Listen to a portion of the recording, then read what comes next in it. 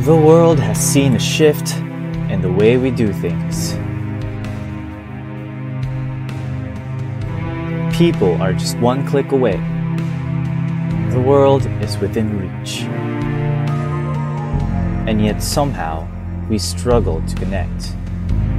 And yet somehow we are farther apart.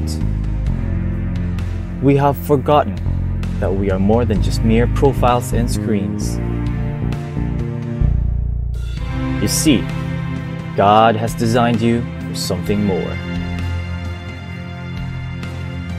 He has made you unique. He has made you for a greater purpose. You can be part of something bigger, and you don't have to go through it alone. We are willing to go deeper. Let's journey together.